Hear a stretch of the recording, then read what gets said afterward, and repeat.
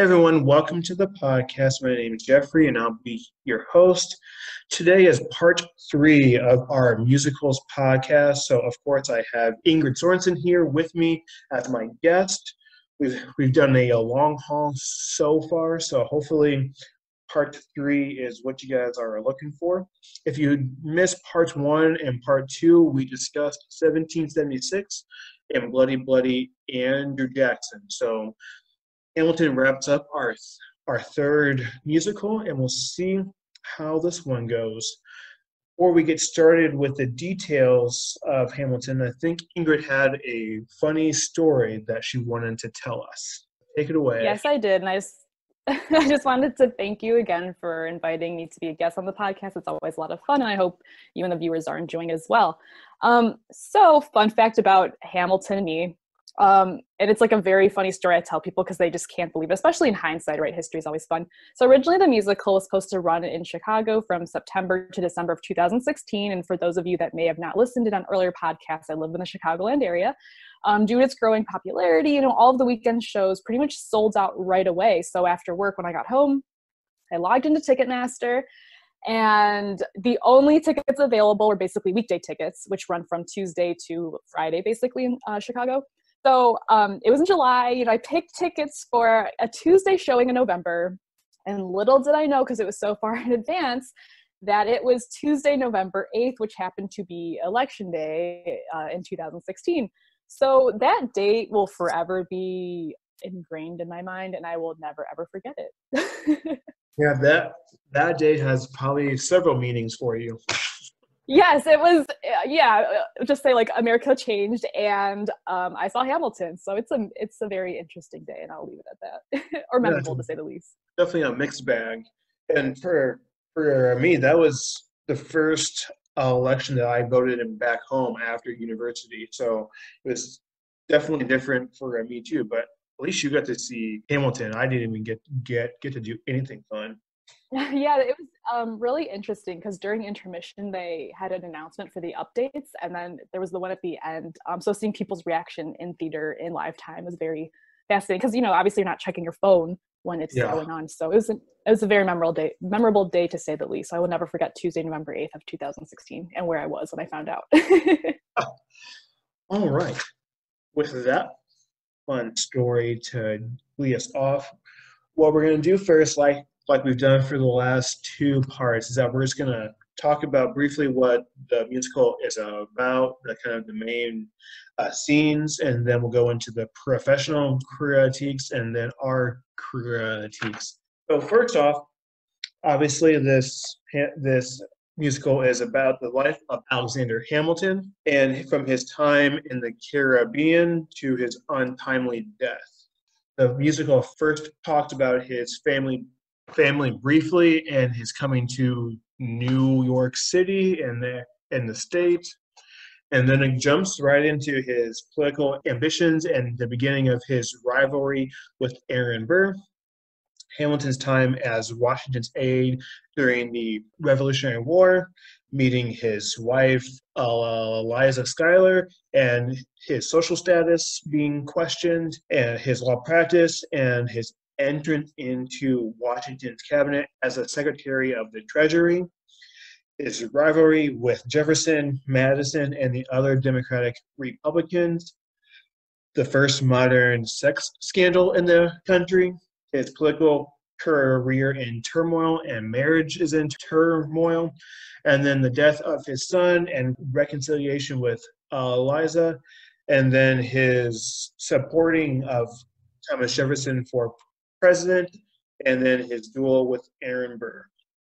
So this, play is about the same length as 1776 was, but to me it just goes by so fast, and I think most people can uh, agree with that thing, at that uh, assessment. But we're going to dive into the professional critiques real real quick. So the New York Times once again is one of our reviews. And the writer says, I am loath to tell people to mortgage their houses and lease their children to acquire tickets to a hit Broadway show, but Hamilton, directed by Thomas Kail and starring Mr. Miranda might just be worth it, at least to anyone who wants proof that the uh, American musical is not only surviving, but also evolving in ways that should allow it to thrive and transmogrify, oh, that's a big word, into years to become. And then the, the Chicago Tribune's negative review. I wanted to kind of get two sides of the coin here because some people love Hamilton and some people just hate it. I wanted to get someone's negative viewpoint. This one is by Lyra D. Monteiro, an assistant professor of history and American studies at Rutgers University at Newark. And she wrote that Hamilton perpetuates the trend of founder's chick, which venerates figures such as George Washington while forgetting their slave owning sins as the race blind casting mask this issue. For goodness sake, why are we still venerating these guys? Monteiro says in her in an interview with the New York or not New York, but the Chicago Tribune. And then she also states if you had to put all of the slaves owned by Washington, Jefferson, and Madison on that that stage, they wouldn't fit. I'm not at all shy about how much per, how much personally I love it as a show. She adds, but for me, understanding what's problematic uh, about it helps me uh, appreciate it more and helps me understand more what it what is possible. So while she likes the show, she also knows the flaws, which I think that is that can be said about everything that is ever made in uh, music, musicals, plays, anything has its its good and bad side. I'm going to go into my review first, and then I'll let Ingrid share her views. So I too like Monteiro. I was I was skeptical uh, about Hamilton when people first started to talk uh, about it more. I have studied the era of which Hamilton was in, but I'm by no means an expert. Having the historical background helps me uh, appreciate the musical more. I know how contradicting the, the founding fathers can be, but while there are parts of the, the musical that hint at some of their terrible actions, most viewers probably don't catch on to those parts. I, I definitely would have liked to see more of the less glorious side of the founding fathers. I, I think that's why I like some of, of the songs that call out the contradicting natures of the, the cast. Jefferson's holier than than thou mentality in the uh, musical is quite humorous to me since he did own slaves and is somewhat of a Francophile, which the musical uh, talks about. I could probably pick apart the uh, musical until it was no it was no more, but I I, I take it as an entertainment value and it provides a learning tool and a jumping off point for some people that are not versed in history and want to learn more uh, about the founding fathers and Hamilton. So that's kind of my take. What do you think? Um, so naturally, me being me, I have a lot of opinions about it.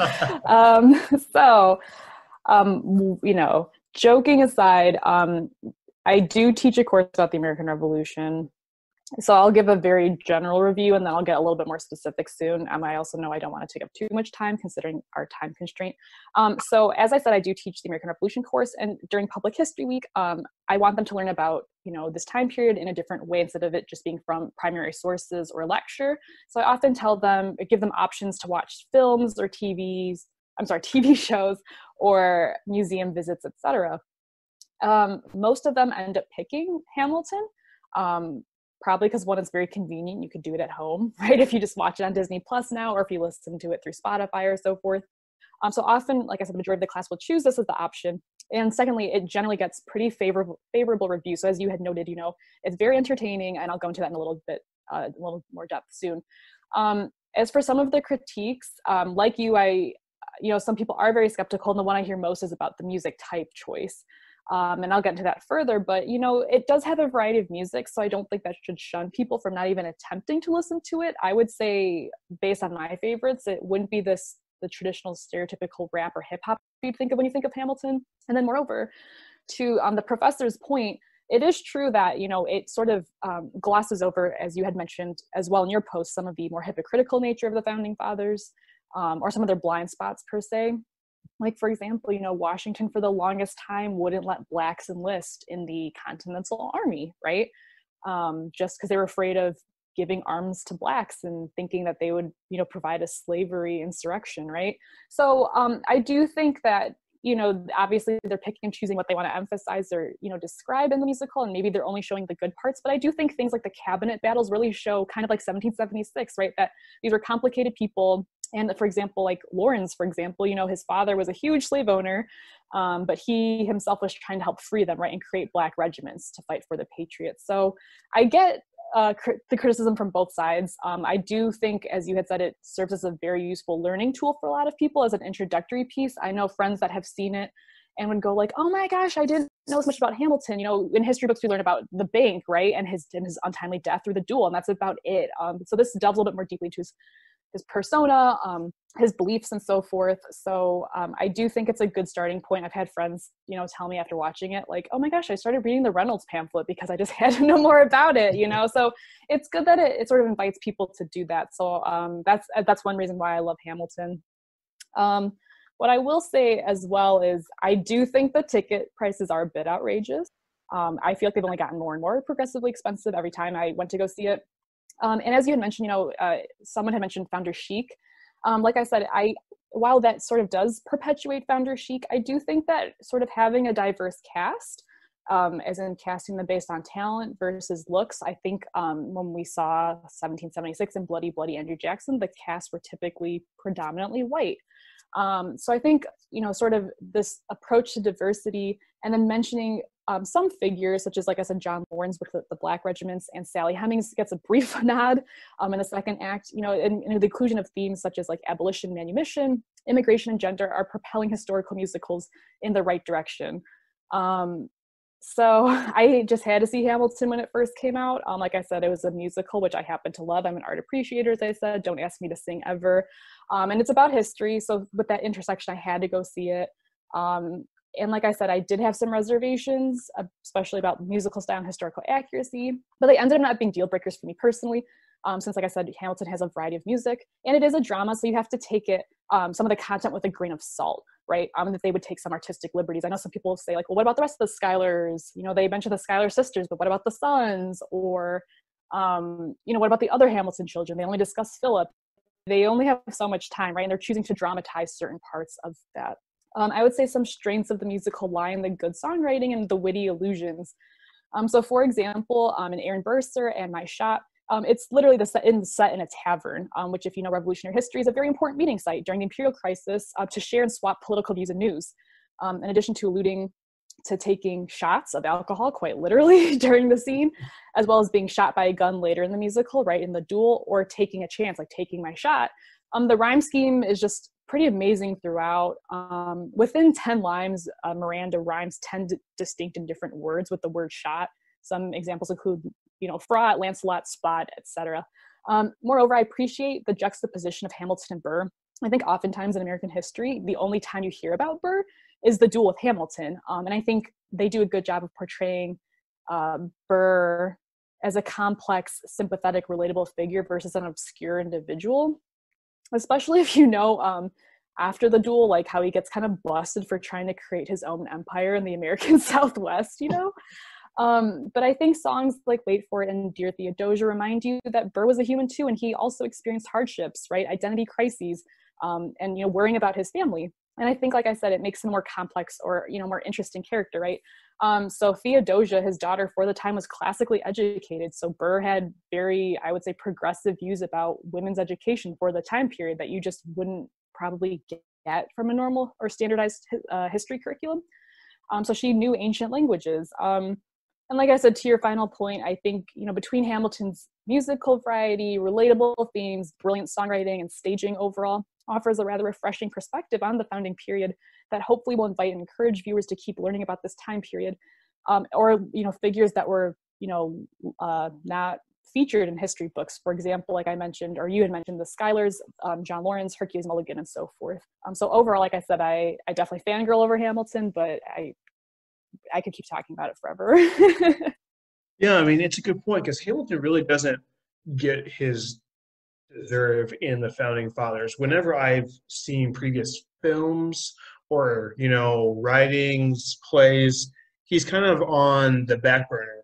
The one a, a couple that come to mind for me is in the miniseries john adams hamilton's only in that miniseries in two episodes and then there's a kids show that i watched when i was i was younger. It's about the revolutionary war. It was called liberty's kids. It was on like free broadcasting but he's only in two episodes out of the 40 episodes. John laurens makes one. And so i think this musical gives them a higher voice than what they have been in the past. So I would agree with your critique and uh, assessments. Yeah, and I'm not sure it's because um, as the play kind of shows, Hamilton had a very you know he's very vocal so i'm not sure if it's because he was so such a polarizing figure he doesn't get his due or if he died kind of prematurely you know um, and so we don't really know what his legacy would have been had he lived longer, for example. And it's probably the same with Laurens, right? Um, Laurens kind of was a very, you know, unique figure for his time period. Um, definitely, I'm pretty sure he got his girlfriend pregnant before they got married. And you know he quickly married her, and then he ended up dying young again, right? Um, so we don't really. So I don't know if it's sort of like this: they died young, so we don't really know what they could have become, or um, yeah, even in a, um, I have a textbook that I was searching for Laurens. You know, I think he showed up once or twice out of like 900 pages, and I'm not even sure that Hercules Mulligan ever showed up. You know, um, so I think they give some attention or they flesh out more historical figures than we would typically get in, you know, um, a history textbook. Yeah, I've only seen Mulligan in one show that I've ever watched about the Revolutionary War, and it was Washington's Spies. So he was spying, obviously, in New York, and he's only in two episodes there too. So I just feel like this musical brings them all to the forefront. But we are almost out of time for our part three. But I believe that we're going to push this into a four-part series here. And so next time we'll talk about some of our favorite songs and then do a final compare con- contrasting of the three musicals. So thank you once again for coming on to my podcast. I appreciate your analysis. Yeah, thank you for having me. Always good to be here. And we'll see you all next time.